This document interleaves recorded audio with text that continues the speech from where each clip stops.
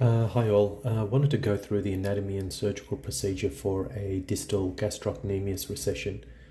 Uh, the aim of the procedure is to lengthen the calf muscle, um, which would be uh, increasing ankle dorsiflexion. The indications for this patient included pain and tension in the calf muscle and the tendo Achilles, uh, posterior heel pain where the tendo Achilles inserts into the back of the calcaneus, and also plantar fasciosis. Uh, now I'll let um, Mohammed, who is an ACPS first stage registrar, to go through the anatomy. What we're looking at anatomically is the um, the gastroc muscle. You've got two heads of the gastroc. One originates on the lateral condyle of the femur. The other one originates on the medial condyle of the femur. Two heads um, merge together to form a channel um, through the middle. do you mind if you're going up on your um, toes for me, please? And we're looking at the lowermost portion of the muscle. We can't really see exactly where the midline of the gastroc is and usually it just comes through to the midline of lower leg. So it would be around there. Usually what will happen is you'll have the um, small saphenous vein running um, on the medial side um, through the midline, through that canal where the two heads meet. And on the lateral side, you'll have the sural nerve running down through that canal. Um, you can relax, Ahmed. And relax for me, please. And where the, um, the heads finish, um, the tendons start, forming the aponeurosis. Uh, the aponeurosis um, at, at its most uh, proximal portion is about 15 centimetres up from the heel bone. Um, so we'll mark that section there. And we will go um, and try and estimate whereabouts the belly of the soleus um, finishes. So try and run our finger up. And the belly of the soleus feels like it's round about very, very tight on that medial side. I'm going to guess it's right around about there. So that's where the, the belly of the soleal muscle finishes. The um, aponeurosis um, is in this through this section here, and the um, the Achilles tendon um, or the the, ten, the aponeurosis meets the the tendon of the soleus through this section here. Um, and our incision usually will be on the posterior medial side of that midline. Um, so it'll roughly be around this section here. Fantastic. I'll come around now and just have a look.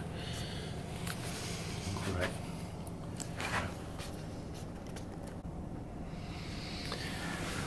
Yeah, perfect. Yep, so we'll make it here.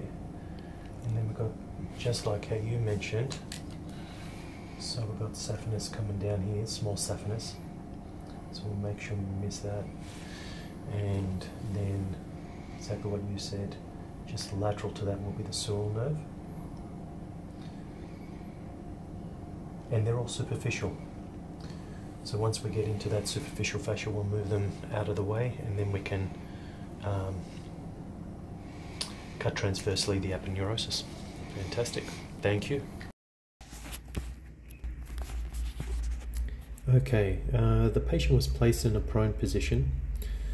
A 3 centimeter linear incision was placed longitudinally at the level just below the right gastrocnemius muscle belly, exactly where um, Moe had marked it.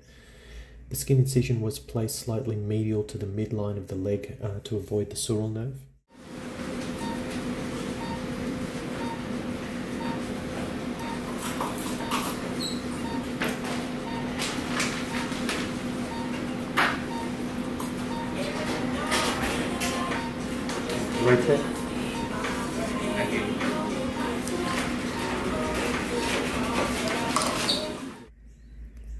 The subcutaneous tissue was dissected. The sural nerve and the small saphenous vein line this layer. Uh, however, uh, we didn't encounter them.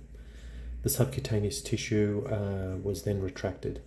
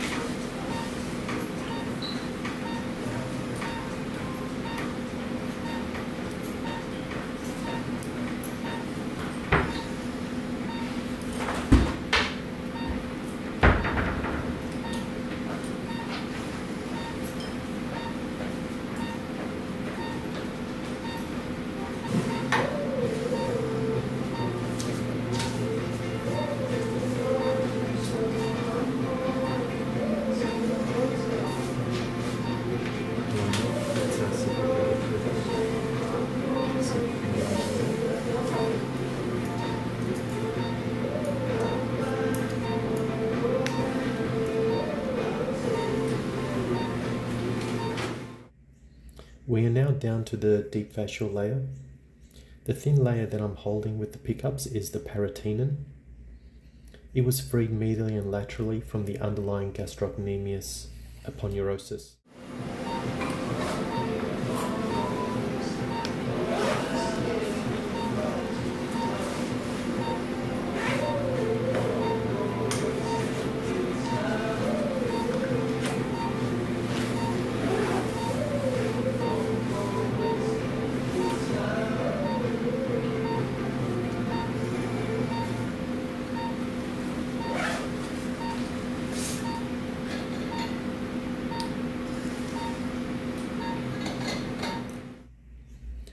White tissue that you can see now uh, is the aponeurosis itself.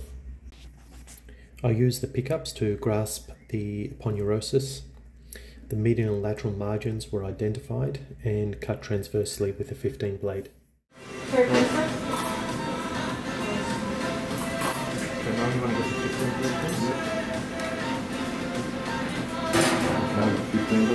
Yep.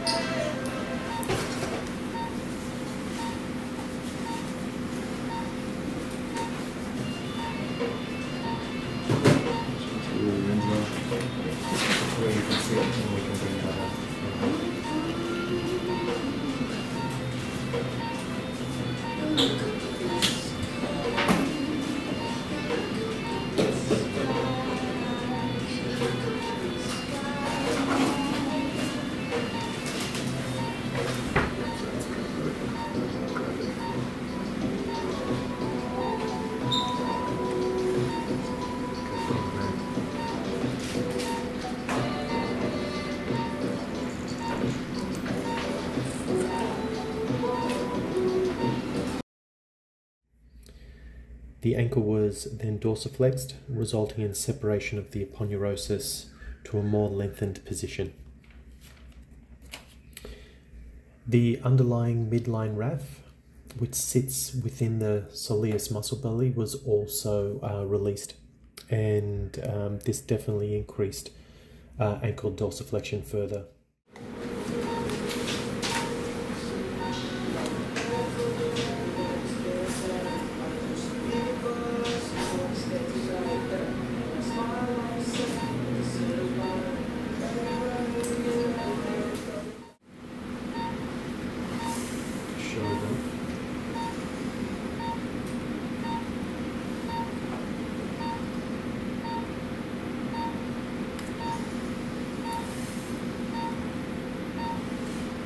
Crossing around. And the distal.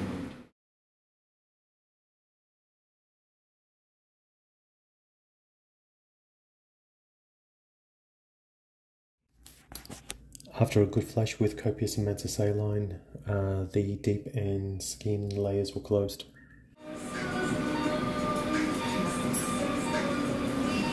Remember, it's not standard,